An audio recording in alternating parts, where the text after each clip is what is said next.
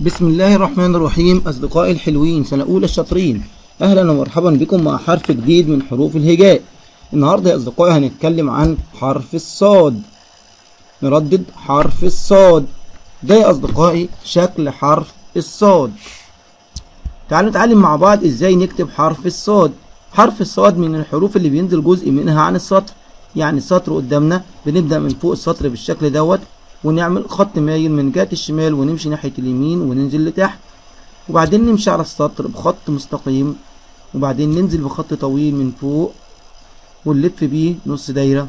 وبعدين نقفل الجزء ده. كده كتبنا حرف الصاد. تعالوا نشوف مع بعض كلمات بها حرف الصاد. أول صورة قدامنا صورة شطار صورة صقر صقر. أول حرف كلمة صقر باللون الأحمر. صاد فتحة صا نردد مع بعض صا صا صقر صا صقر. لاحظ معايا الصاد عليها فتحة وليه سميناها فتحة عشان بنفتح الشفتين لما نيجي ننطق الحرف.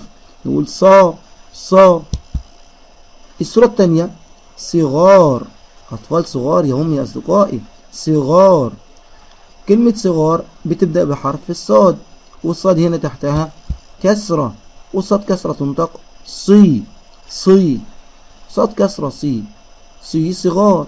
الصورة التالتة صورة صندوق. صندوق. اوعى حد يقول لي صندوق.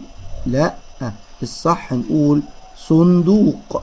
أول حرف صاد ضمة سو. نردد مع بعض سو صندوق. سو صندوق. الصورة الرابعة صورة بلدنا حبيبتنا اللي بنحبها كلنا اللي إحنا عايشين فيها وبنحبها. صورة مصر.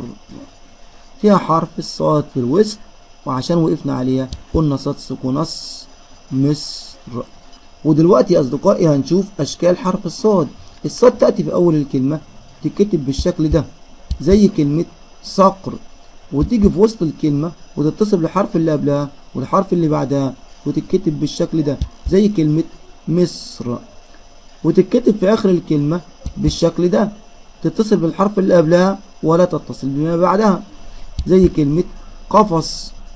وتيجي في آخر الكلمة مفردة يعني لوحدها. لا يتصل بها حرف قبلها ولا يتصل بها حرف بعدها. زي كلمة يغوص. نردد مع بعض الكلمات. صقر. مصر قفص. يغوص. ودلوقتي يا أصدقائي هنبدأ نكتب مع بعض حرف الصاد. بنعمل خط مايل ونمشي على السطر بالشكل ده. من الشمال لجهة اليمين. ونطلع وننزل تاني لغاية ما نوصل للسطر. وأول ما نوصل للسطر نمشي بخط عدل مستقيم على السطر. وبعدين نبدأ ننزل بحرف الصاد بشرطة من فوق. وننزل بيها ونعمل نص دايرة. وبعدين نلف بيها بالشكل ده. وده شكل حرف الصاد. دلوقتي يا أصدقائي هناخد مع بعض حرف الصاد الممدود. يعني إيه حرف الصاد الممدود؟ يعني اتصل بحرف المد وهي حروف المد المد بالألف. صاد مد بالألف؟ صا وقلنا المد بالألف عبارة عن فتحة طويلة. صاد فتحة صا وصاد مد بالألف صا حرف المد الثاني المد بالياء. الصاد كسرة صي وصاد مد بالياء صي لأن الكسرة بنت الياء. حرف المد الثالث المد بالواو. الصاد ضمة سو. والصاد مد بالواو سو. لأن الضمة بنت الواو.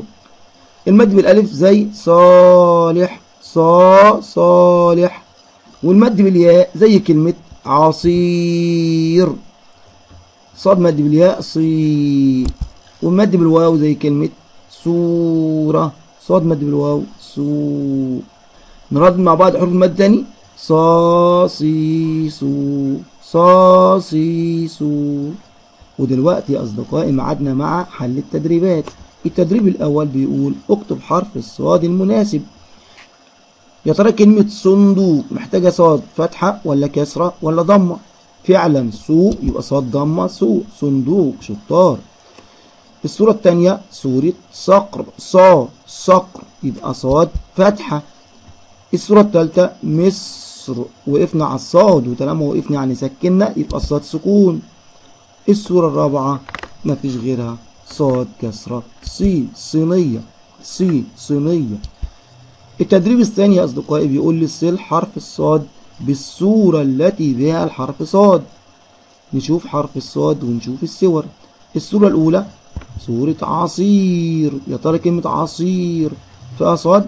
آه مش قلنا صي عصير فعلا يبقى نوصلها بحرف الصاد. الصورة التانية صورة صو. فيها حرف صاد شطار. فعلا أولها حرف صاد ضمة صو. الصورة التالتة شمس. شمس. اوعى حد يقول لي شمس آخرها صاد. لأ. شمس آخرها سين. يبقى هنسيبها. الصورة الرابعة شمعة. طبعا ما فيهاش حرف الصاد. نيجي بعد كده يا أصدقائي للتدريب الثالث. بيقول لي صل حرف صاد بالكلمة التي بها بالكلمة التي بها الحرف صاد. الكلمة الأولى كلمة صقر. كلمة صقر فيها حرف الصاد طبعا فيها حرف الصاد اللي هي في أول الكلمة وعشان كده ما نزلناش بيها لتحت. يبقى هنوصلها. الكلمة التانية كلمة سمكة سمكة اوعى حد يقول لي السا يبقى صاد. لأ السا يعني سين يبقى ما فيهاش حرف الصاد يبقى هنسيبها. الكلمة التالتة عصير عصير. لاحظ معايا؟ صي. صاد بعدها مد بايه بالياء يبقى فعلا فيها حرف الصاد وهنوصلها. يلا بينا نرحب بحرف الضاد. مين يعرف يجيب لي كلمة فيها حرف الضاد؟ ضبع. ضا ضبع. كلمة تانية فيها حرف الضاد ضفدع ضفدع ضي ضفدع ضفدع. كلمة تانية فيها حرف الضاد ضوء ضوء ضوء فيها حرف ضاد. تعالوا بينا نتعرف على صوتيات حرف الضاد ض ضي ضو ض ضي ضو يلا بينا نكتب حرف الضاد هناخد الضا ونشوف هنكتبها إزاي. فاكرين يا اصدقائي كنا بنكتب الصاد إزاي. نفس الحكاية بس هنحط نقطة فوقها يلا هاجي من نص السطر كده وأعمل نص دايرة وأنزل على السطر وبعد كده أرجع تاني من اليمين للشمال وأحط السنة بتاعتي وأحط نقطة فوقها وبعد كده أعمل التشكيل بتاعي وهي الفتحة. ضا نقول كمان. هرجع تاني من نص السطر كده وأعمل نص دايرة وأرجع على السطر تاني وبعد كده امشي على السطر واحط السنة بتاعتي واحط النقطة واعمل الفتحة بتاعتي. ضا هناخد الضي اللي في كلمة ضفدع. هحط النقطة.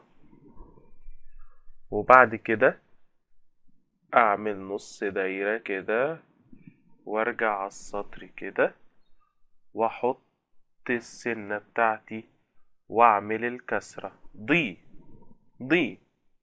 نقول كمان هاجي من النص واعمل نص دايرة كده كده كده كده.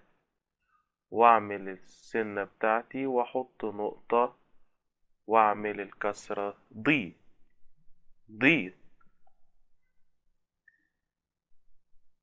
هناخد الضا اللي في كلمة ضوء ضوء. هعملها إزاي؟ هاجي من نص السطر كده وأعمل نص دايرة وأمشي على السطر كده وأحط السنة بتاعتي وأحط نقطة وأعمل الفتحة بتاعتي. ضا ضا شكرا لكم أصدقائي الحلوين وبكده ينتهي درسنا النهارده. واستنوني الحلقة اللي جاية ودرس جديد ومعلومة جديدة ونفهم نتعلم ببساطة.